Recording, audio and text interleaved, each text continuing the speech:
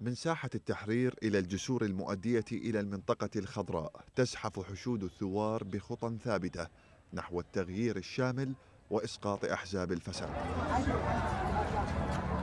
ثبات الثوار وإصرارهم على الاستمرار في تظاهراتهم السلمية في تصاعد كلما زاد عدد الشهداء والجرحى في بغداد والمحافظات.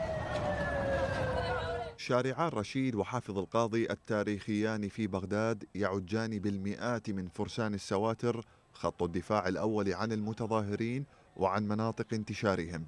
بينما يتكفل باقي الثوار بالحفاظ على السيطرة على جسور الأحرار والسنك والجمهورية من جهة الثوار الرصافة وبمواجهة القوات الأمنية. في مشهد يثبت مرة أخرى أن ثوار تشرين ماضون في اقتلاع الفاسدين بلا استثناء.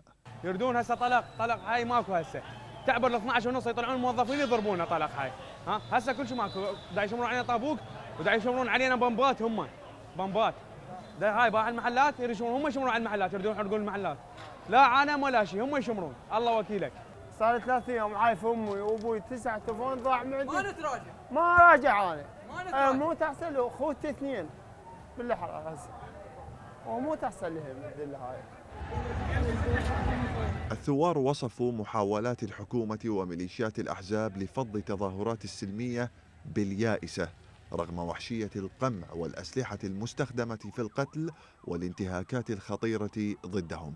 من الساعة بالثنتين للساعة 3 الفجر بس الصوت يوصل كل واحد. من الثنتين لثلاثة البارحة 17 شهيد طينا هنا هناك واحد هناك سبعة. دي قدام بالشارع مالت ال- مالت الوثبة طينا عشرة. أبو تك تك أخذوه لحد الآن ماكو. لا هو ولا تك تك الجراج حرقوه انطلق يرمي عليك قاس قاس مسيل الدموع وحدة ولا الثانية. ماكو حق ماكو. ناس يعني شو أقول لك؟ حتى الجبناء مو مثلهم. على جسر الأحرار شهادات مماثلة للثوار. تنقل جزءا من صورة القمع الحكومي على مدار اليوم والذي يواجه بصمود قل مثيله. يجون بالليل تالي الليل يحرقون ال- الساتر ويرحون. حتى نعمة الله يحرقوها.